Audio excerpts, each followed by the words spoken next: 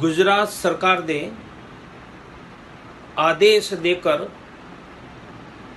गुजरात में पच्चीस हज़ार से ज़्यादा मंदिर तोड़ने का आदेश दिया है और जगह जगह पर नगर पालिका म्यूनिसिपल कॉरपोरेशन महानगर पालिका यह मंदिर तोड़ने का आदेश देकर मंदिर तोड़ने की तैयारियाँ कर रही है।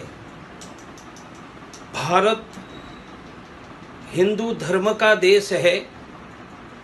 हिंदू धर्म में भगवान को सर्वोपरि माने जाते हैं और पृथ्वी पर भगवान की आराधना का केंद्र मंदिर है।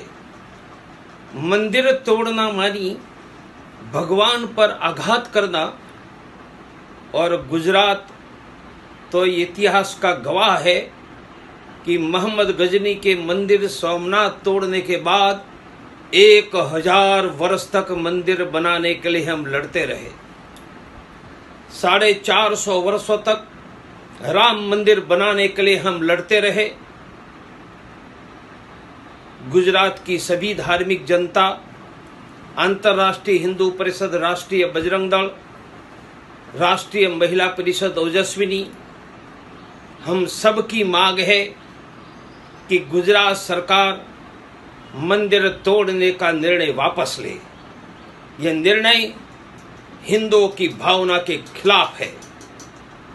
साथ में बैठकर उनमें कोई रास्ता निकाला जा सकता है, पर मंदिर तोड़ने का निर्णय किसी भी कीमत पर हिंदू समाज को स्वीकार्य नहीं है। मैं गुजरात के माननीय मुख्यमंत्री भूपेंद्र भाई को विनंती करता हूँ कि निर्णय पर पुनर्विचार करो।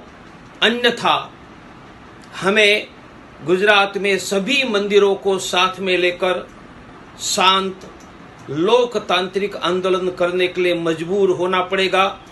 हम नहीं चाहते हैं कि हमारी ही बनी हुई, हमारे भाइयों की सरकार के विरुद्ध धर्म के मुद्दे पर हमें आवाज़ उठानी पड़ेगी। मेरा दृढ़ विश्वास है कि धर्म प्रेमी मंदिर में जाने वाले गुजरात के माननीय मुख्यमंत्री भूपेंद्र भाई पटेल ये निर्णय वापस लेकर हिंदू जन भावनाओं का स्वागत करे। हिंदू धर्म की जय हो, मंदिरों की जय हो। एक हज़ार वर्ष तक सोमनाथ के लिए लड़ने वाले गुजरात की जनता की जय हो। नमस्कार, डॉक्टर प्रवीण तुगड़